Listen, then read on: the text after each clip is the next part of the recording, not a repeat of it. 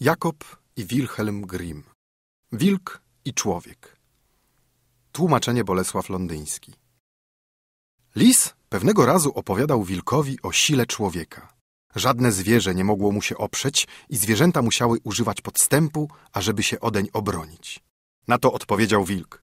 Gdybym się kiedykolwiek natknął na człowieka, to chciałbym się z nim zmierzyć. Mogę ci to ułatwić, rzekł lis. Przyjdź do mnie jutro z rana, to ci pokażę człowieka. Wilk stawił się o świcie, a lis wyprowadził go na drogę, po której codziennie chodził myśliwy. Z początku szedł drogą inwalida wojskowy. Czy to człowiek? zapytał wilk. Nie, odparł lis. Był nim dawniej. Potem szedł mały chłopiec do szkoły. A ten, czy to człowiek? Nie, ten dopiero ma być człowiekiem. Na koniec ukazał się myśliwy z dubeltówką na plecach i z nożem myśliwskim zapasem. I rzecze lis do wilka. Widzisz, to idzie człowiek, z którym możesz się zmierzyć, ale ja co prędzej wrócę do nory. Wilk poszedł wprost na człowieka.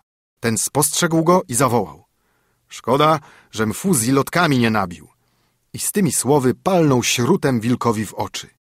Wilk skrzywił się niemiłosiernie, ale to go nie odstraszyło i wyszedł dalej. Wtedy myśliwy wpakował mu drugi nabój. Wilk strawił ból i rzucił się na myśliwego. Wtedy ten wydobył noża i zadał mu parę ciosów z lewej i z prawej strony, tak, że wilk krwawiąc i krwawiąc z rozpaczliwym wyciem wrócił do lisa. I cóż, bracie wilku? Lis zapytał. Jakżeś sobie poradził z człowiekiem?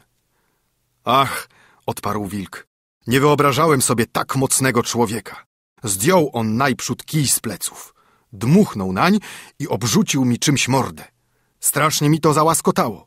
Potem jeszcze raz dmuchnął po kiju, a na nosie uczułem istny piorun z gradem. A gdy już byłem zupełnie blisko, wtedy wydobył sobie z ciała gołe żebro i tak mnie zaczął nim prać, że o mało nie padłem bez życia.